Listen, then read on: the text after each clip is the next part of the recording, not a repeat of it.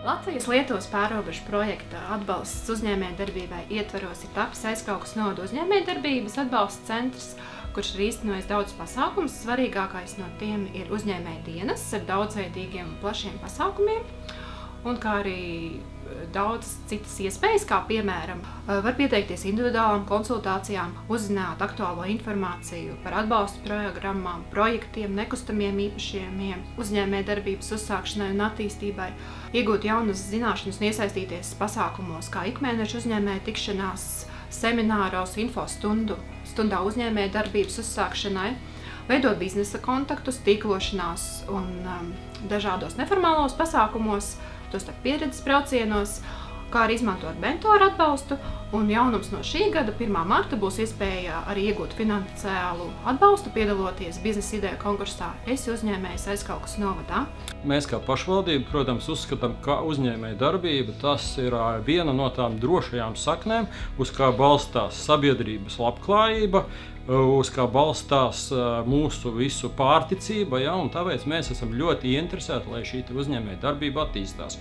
Mums ir patiešām liels prieks, ka uzņēmēja darbības centrs ir uzsācis pie mums savu darbību, ka mums ir jau pirmie tādi ļoti būtiskie panākumi. Tas ir, mēs esam atzīti pagājušajā gadā par uzņēmēju darbībai draudzīgāko pašvaldību. Tāpat ir ļoti atzīstamas tās aktivitātes, kas tiek veiktas ikdienas darbā šim uzņēmēju darbības centram, konsultējot uzņēmējus, veicinot dažādu veidu sadarbību ar viņiem.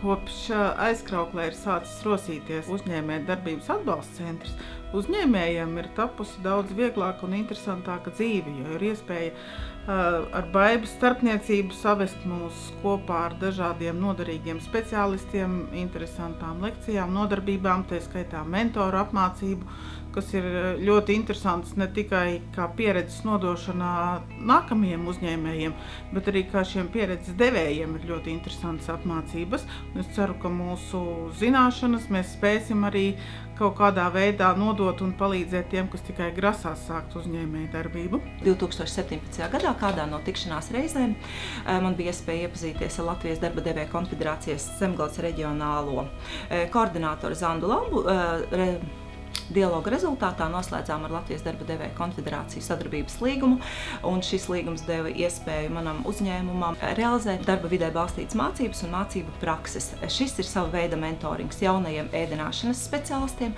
un jaunajiem klientu apkalpošanas speciālistiem.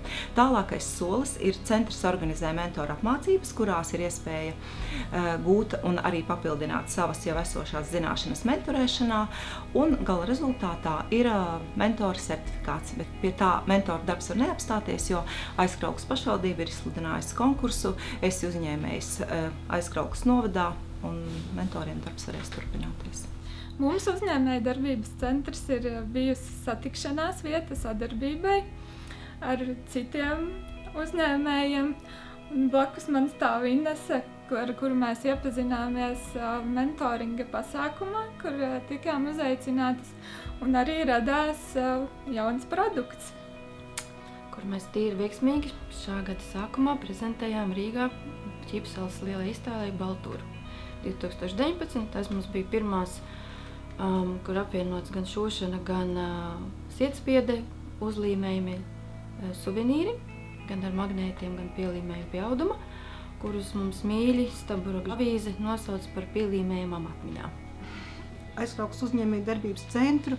Mums ir ļoti cieša sadarbība. Mēs kopā rīkojam seminārus un arī konsultējam cilvēkus, jo viņa vairāk par lielā pasākumiem, vairāk par lauku pasākumiem zinām, un līdz ar to tā pievienotā vērtība ir daudz lielāka un ļoti labi, ka mēs arī ļoti tuvu arī atrodamies. Baiba ļoti patīkami sadarboties, jo viņa zinoša, atsaucīga, gudra. Šis video ir tapis projekta uzņēmējdarbības atbalsta sistēmas izveide un pieejamība Zemgalē, Kurzemē un Ziemeļlietuvā ietvaros, ko finansē Eiropas Savienības Interreg 5A Latvijas-Lietuvas programma 2014. un 2020. gadam.